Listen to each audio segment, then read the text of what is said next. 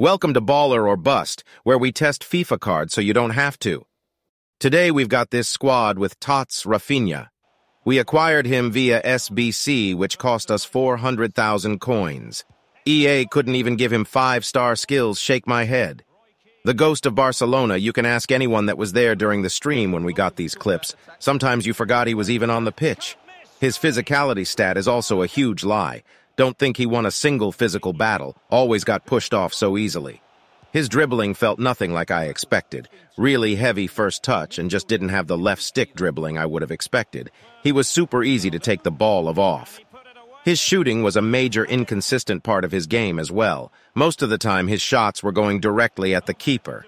Even green-timed shots with no coverage were going wide of the goal. Overall, this is a really disappointing card for this price. 400k is super expensive, and he really didn't feel great in game, so